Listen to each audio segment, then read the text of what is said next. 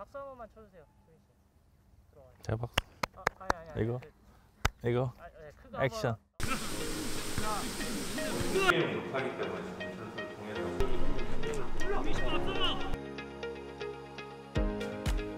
네, 그때 이, 이병 이병이었죠 이병.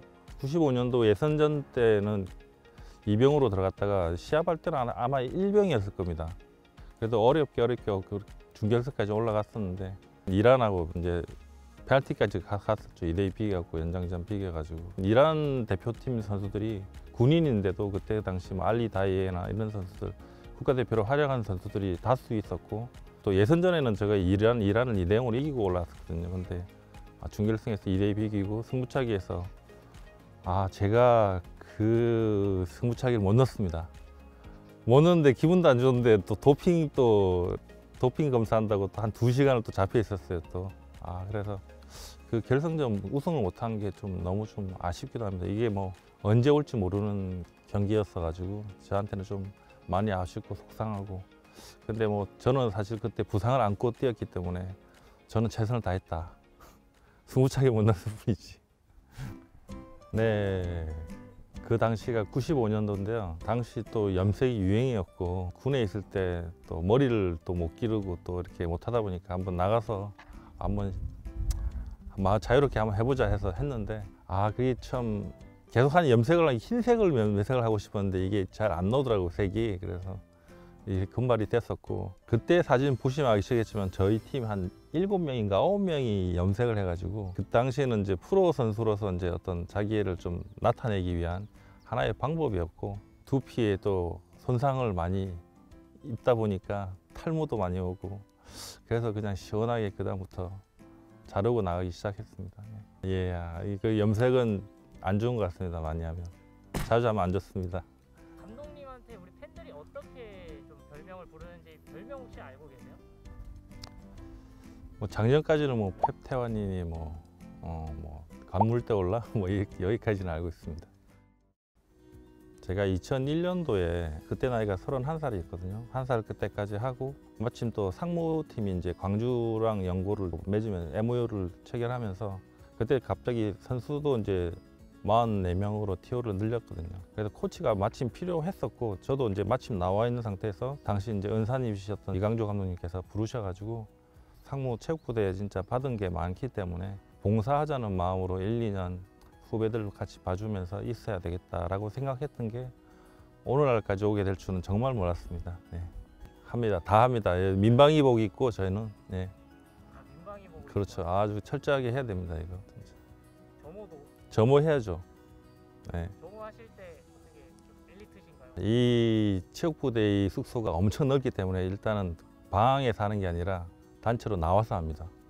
선수들이 운동장에 나와서 이제 보이게 화려해 보일지 몰라도 부대 내에 있거나 생활 면에서는 전부 일반 군 병사들이랑 똑같습니다. 예.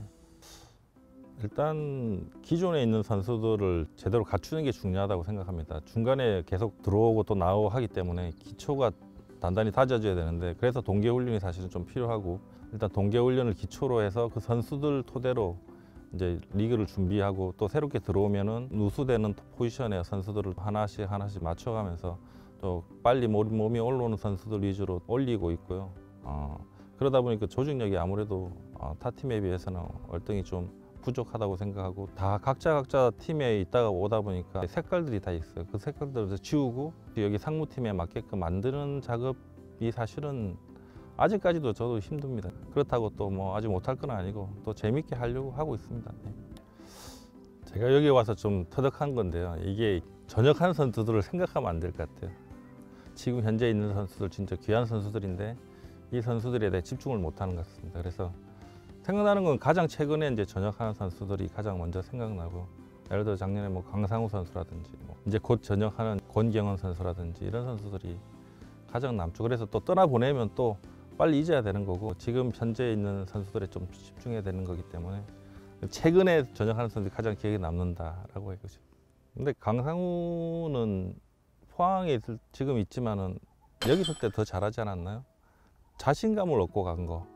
아, 본인이 능력이 있는 선수고 그 탕월성을 경기장에서 내 보일 수 있, 있게끔 된 게 저는 참 가장 좋다고 생각하고 모든 선수들이 상무 와갖고는 그런 것들을 좀 개발하고 또 발전시켜서 나갔으면 하는 바람이 있습니다. 네. 네, 저희 뭐 동계 훈련 때 사실은 준비했던 것들이 부상 선수가 나오면서 계속 누수가 생기는 바람에 이제 진짜 제대로 된 저희 경기력을 못 보여줬었고 이제 이제 두 게임 정도 한 것 같습니다. 이제 선수들은 뭐 능력이 있으니까 사실은 뭐 제가 좀만 더 다 잡아주고 선수들끼리 또 합심한다 그러면 지금 1위하고 차이도 6점밖에 차이 안 나기 때문에 충분히 뭐 따라잡을 수 있을 것 같고 뭐 결과보다는 일단 저희들 지금 팀이 좀 더 단단해지는데 강해지는데 더 초점을 맞추고 있고 예. 그러다 보면 또 나중에 결과적으로 어떤 결과를 받아들지 기대하고 있습니다. 네. 네, 아, 지금 아, 김천 상무의 첫 시즌인데 지금 시작은 좀 주춤하고 있지만은 아, 앞으로 저희가 더 만들어서 강한 팀으로 다시 김천 팬들 분들께 좀 좋은 경기력으로 보여드릴 수 있도록 최선을 다하겠고 저희 홈 경기지만은 또 코로나로 인해서 무관중 경기를 좀 많이 하게 되는데 사회가 건강해져서 저희 김천 운동장에서 팬분들과 함께 함성을 지르는 그날을 기대하겠습니다. 감사합니다. 그때 당시 같이 뛰었던 동료 선수들도 감독님 아, 볼잘 찬다. 아, 예, 아직 물어보십시오. 다 이게 뭐 김은중 예, 코치, 올림픽 코치라든지 뭐 물어보시면 아마 좋은 얘기 하지 않을까요?